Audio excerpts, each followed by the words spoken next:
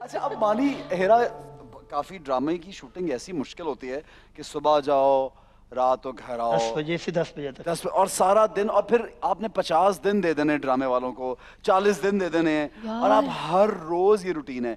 तो कभी कभी जब एक लंबी रूटीन थी मानी कभी गुस्सा चढ़ता है इस बात पे कि यार अब मतलब आज ऑफ़ लो नहीं मानी कभी कभी भी नहीं। भी नहीं, नहीं मुझे अच्छा लगता है कि हेरा वीकेंड पे भी नहीं। नहीं नहीं नहीं। मैं पता है जब घर में रहती हूँ तो अच्छा मैं क्या करती हाँ, नहीं मैंने मानी कहा- कहता है अच्छा शुक्र है। यानी क्योंकि मेरा ख्याल है मैं घर पे रहने वाली ठीक नहीं हूँ मैं मैं लड़ाइयाँ कराती हूँ। खानदानों में लड़ाइयाँ। खानदानों के ठीक बोला है मैंने ठीक। खानदानों के ग्रुप में फड्डे हो रहे हैं मैंने भाई हेरा अल्लाह के वास्ते ड्रामा द्वारा शो और तुम ड्रामा भी छह महीने का गैप आया। खानदानों के तो हो रहे हैं, cousins के।